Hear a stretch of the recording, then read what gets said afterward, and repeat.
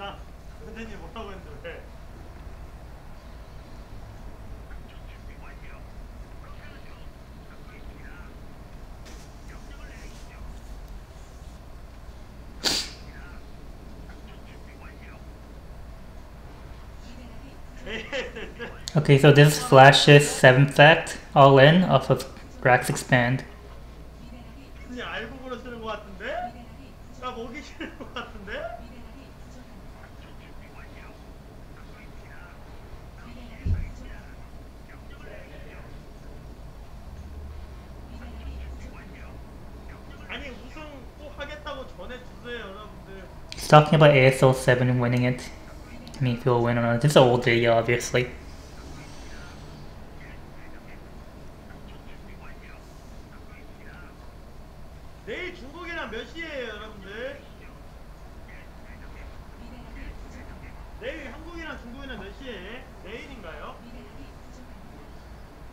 He's talking about soccer.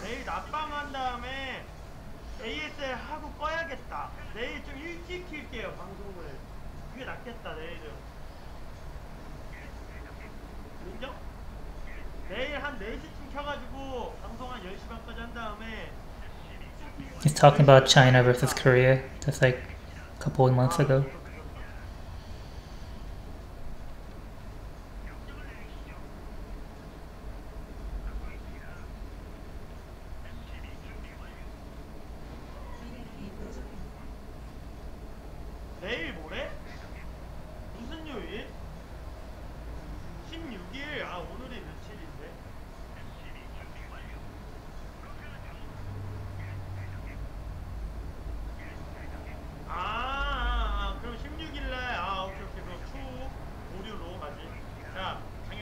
So, tutorial starting. You guys all know about Rax FE. 10.5 racks, 12 search. In Fighting Spirit, you always do End Scout. Because Fighting Spirit, Zealot first is very common, so you need to be able to see if it's the, the Zealot ahead of time by doing End Scout, so near Scouts only. So I saw Probabler there, so I know where he spawned. So after 15 um, command center, you make a marine, and then a supply depot. Then make one more marine. So with that queued up marine, you watch if the if you'll encounter a zealot over here. If you don't, you cancel. If you do, you continue making it.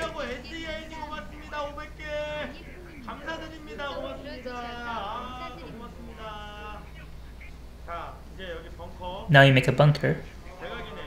It's gonna be cross position.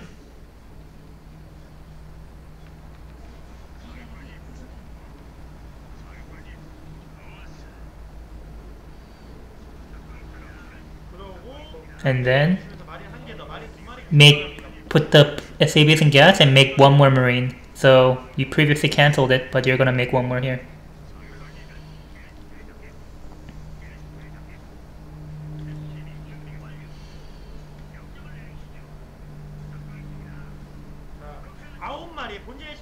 So SCV in your main should be 9 SCVs in the in your main and everything else on your natural. So keep sending your SCVs down. So once the SCV in the main reaches 9 and your natural reaches 7, you can start um, rallying it back. Get your academy up. So now that you saw a product's natural, you can just pull your CV back, your scouting CV back. You don't need to see anything more.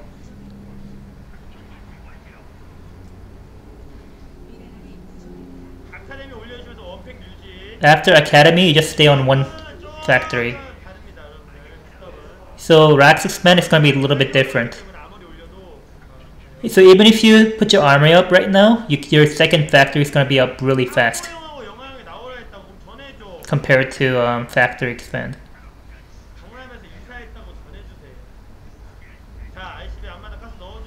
So now that your natural has SCVs in the gas,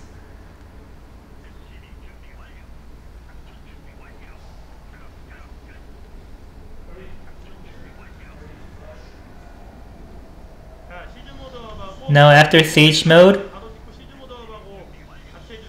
so off of one factory, you're going to be getting siege mode and everything. You're going to get scanned before you get your factory.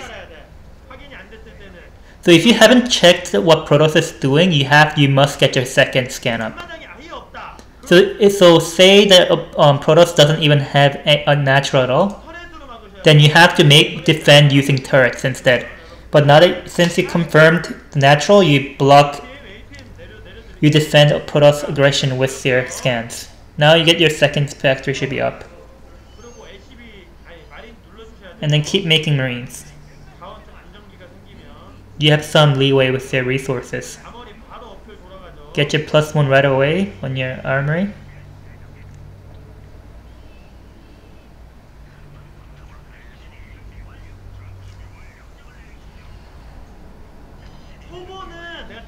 For noobs, This build is pretty hard.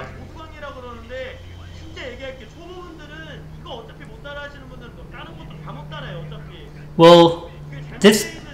So you can't say that certain builds are harder than another because um, if, you, if noobs can't follow this build, they can't follow any build.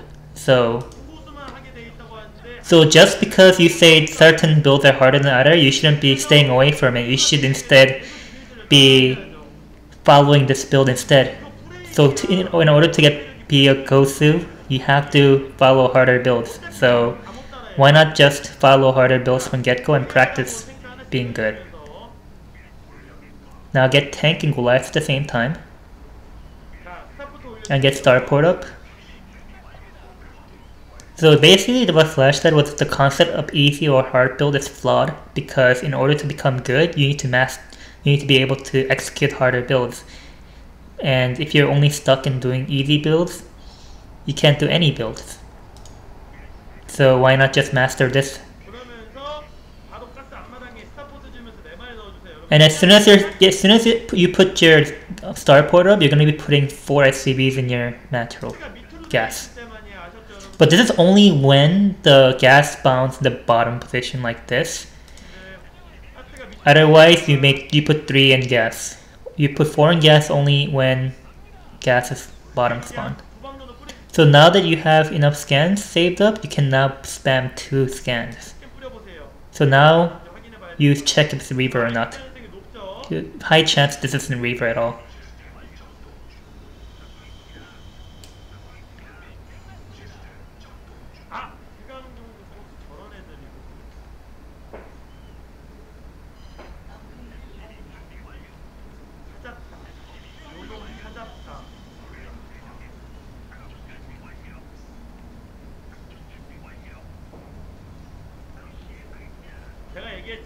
I told you before, noobs can't follow any build at all, no matter the difficulty.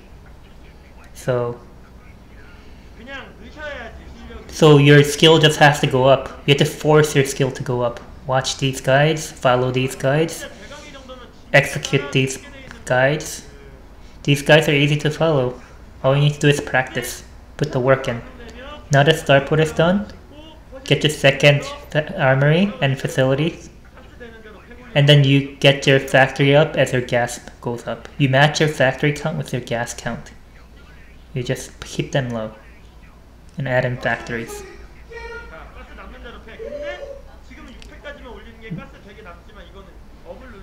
So reason why I stopped making my factory up, even though I said keep making factories as the gas allows, is because even if I had 100 gas, it's because I need to get my second up plus 2 upgrade up.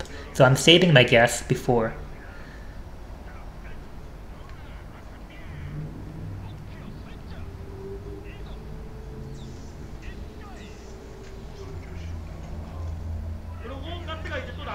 Now you have gas remaining. Now you're, gonna, you're not gonna spend an factory. you're gonna get your plus one up defense. And now you're gonna make your seventh factory when your gas allows. And once you get your starport add-on up, get keep consistent tank production is key. So now you see that your, your CVs are full on, fully saturated, oversaturated on both bases, right? And what, as you make these, now that your 7th factory is up, you make your second add-on. Now you're just going to be shoving in all as much production as possible as your gas allows. And now you watch for a Protoss does, how he reacts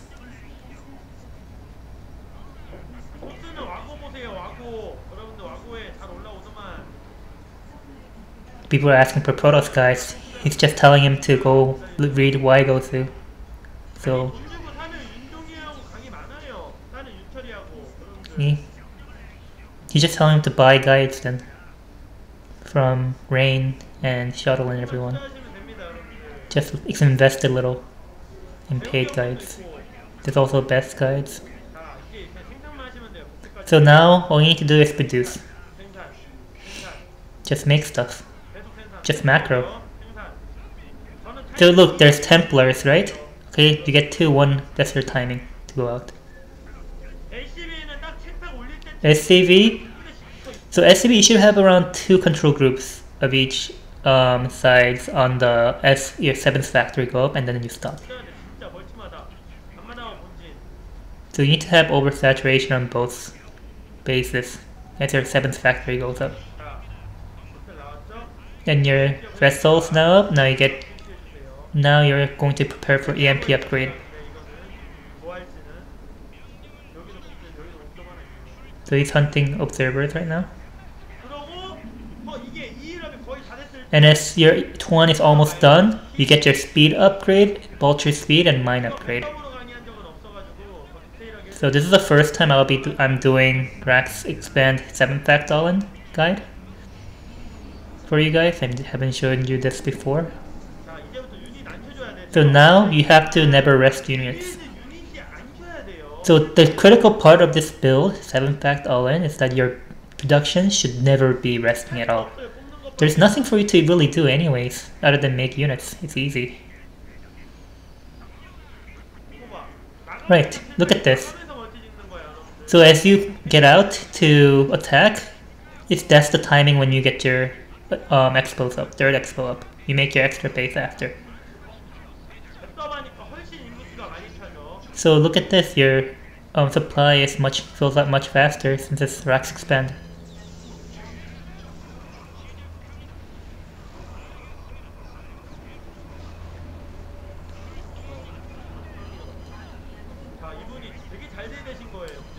So that guy fought really well, actually. But even then, you have too many units. You have way too many units.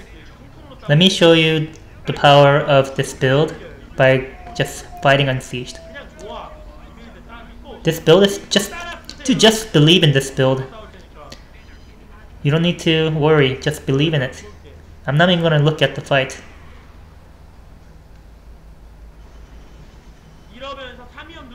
And while you get your 3-2, you get your 3rd up. So this build isn't really all in. This isn't all in. This build isn't all in at all. Not at all.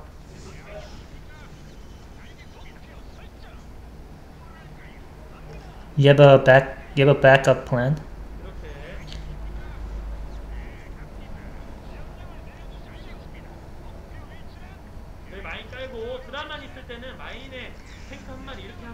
So against Dragoons, all you have to do is siege one tank and just put mines. Then it's really hard for the um, Dragoons to break it. So look at this. Look, when it's only Dragoons, it's really hard for him to escape this. Just one siege tank in lines. So now that the third is going to about to be go up, transfer SCVs. And while and while you do this, so right now you have a couple choices. You can make extra vessels, or you can make even more factories. So I prefer making more factories instead of making extra vessels. So this guy has pretty good. He made 3rd and 4th. He was able to get up to 3 and 4 stages. So thanks to this build, the game's really easy. Easy game. So it so by easy, I mean that it's easier for you guys, people like you, to uh, be able to practice macro and then carry out builds rather than winning. It's it, I don't mean that winning is easy. Um, easy means winning. It's just that um, it's easier for you to execute against a Protoss. Easier to play.